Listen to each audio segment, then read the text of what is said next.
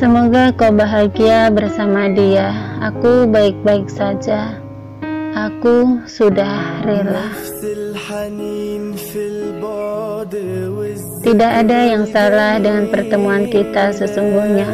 Mungkin satu-satunya yang salah adalah bahwa aku selalu berharap kau punya rasa yang sama, sebesar yang aku punya. Tapi kini kupikir sudah saatnya aku melebur asa yang terlalu besar itu. Karena sekuat apa pun aku berusaha Pada akhirnya kenyataan membuatku sadar bahwa ada hal yang tak bisa aku paksakan. Aku berharap bisa bersikap sewajarnya Namun pertemuan denganmu tetap saja membuatku tak mampu berkata-kata. Aku keluh saat tak bisa menghindari pertemuan kita. Hai apa kabar? Jujur ingin rasanya aku menyapamu dengan cara yang jauh lebih menyenangkan, tapi di saat bersamaan lidah keluh tidak bisa lagi terhindarkan. Ya, ada sejuta keinginan bila aku tetap bisa bersikap wajar, namun detak jantung yang berdegup membuat semua kata yang telah terangkai gugur begitu saja seolah tidak tersisa. Ya, walau tidak ada yang pernah tahu sebagaimana dalamnya aku memendam rasa, namun satu yang pasti kamu pernah menjadi sosok yang sangat istimewa. Hidup memang selalu penuh misteri, termasuk pula soal mencintai. Tentang kamu bukanlah orang yang pertama yang pernah singgah dan menghadirkan rasa. Tapi Sejauh ingatanku, hanya pada dirimu lah aku pernah merasa begitu jatuh dalam pusaran cinta. Memang aneh rasanya jika aku harus menalar dengan logika. Bagaimana rasa untukmu bisa tercipta begitu sempurna? Mungkin Tuhan memang menghadirkanmu untuk menjadi cerita yang berakhir dengan cara yang tidak bisa kuduga. Kebersamaan yang terjalin antara kita tidak lantas bisa menumbuhkan cinta di hati yang lainnya. Sekalipun aku telah berusaha untuk membuatmu bisa merasakan hal yang sama, tapi nyatanya aku harus menerima putusan bahwa ia tidak juga menitipkan hasrat serupa. Kamu adalah cerita terindah yang pernah kutemui, sekalipun tidak pernah bisa dimiliki. Bagiku, segala hal tentangmu terasa begitu berarti. Aku meremang merutuki cintaku yang bisa sedalam ini. Semua hal tentangmu terasa sangat berarti.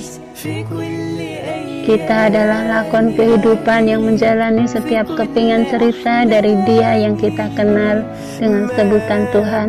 Sekalipun merasa memiliki otoritas atas hidup tetap saja ada bagian yang tidak mungkin bisa kita kendalikan sepenuhnya. Termasuk tentang kisah kita yang terjadi begitu saja. Perkenalan sederhana yang nyatanya mampu menghadirkan rasa yang luar biasa. Tentu tidak ada yang patut dipersalahkan termasuk kamu dan keadaan. Sementara aku pun hanya bisa menerima segala penentuan, memanggul rasa yang tidak pernah aku undang. Pernah pula aku merasa kecewa karena merasa sakit menanggung cinta yang tidak bersambut tapi seiring berjalannya waktu, aku pun mulai bisa menerima bahwa hal tersebut pernah dialami oleh semua manusia. Bukan salahmu bila akhirnya aku harus terluka. Rasa saja bila memang tidak pernah ada harap yang kau tebar di antara kita. Aku pernah begitu terluka. Kuakui bahwa aku adalah orang cukup keras kepala untuk memperjuangkan segalanya, karena menurutku sebuah usaha akan membuahkan hasil yang setimpal. Tapi perjalanan kehidupan mengajarkanku bahwa sebagai manusia aku tidak boleh memaksakan segalanya merasa bahwa aku mampu mewujudkan segalanya sesuai dengan keinginan. Pada akhirnya aku sadari bahwa akulah yang harus menanggung luka atas harap besar yang kurajut sendiri. Semua cara yang ku usahakan berakhir dengan kenihilan.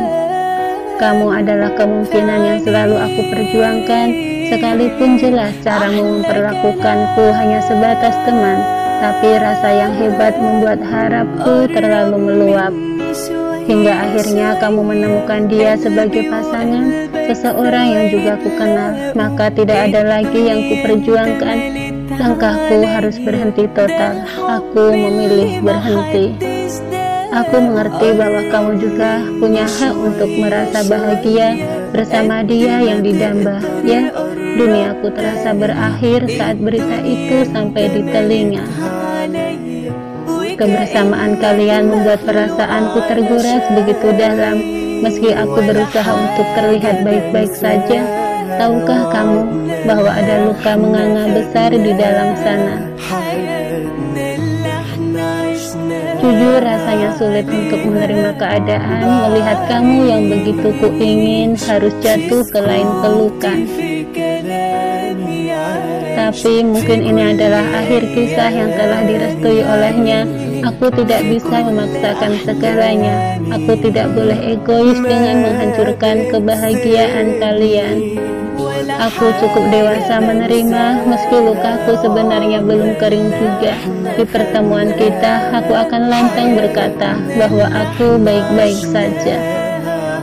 Konyol rasanya jika perasaanku masih saja tak bisa direndam Hingga sekarang, sekian waktu telah terlewati Sudah selayaknya aku bisa menyembuhkan diri sendiri Toh kamu sudah bahagia dengan orang lain dan aku pun kini menemukan kebahagiaanku yang lain. Aku dan kamu adalah sekelumit cerita masa lalu dan biarkan kisah itu melebur bersama waktu daripada harus terpuruk aku memilih bangkit melanjutkan hidupku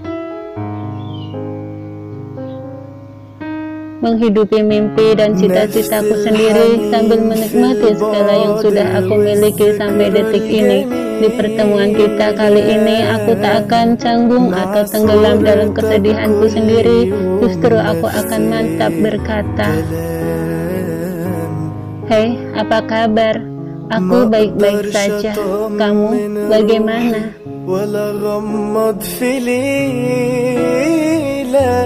قبل ما افكر فيك انا الغاية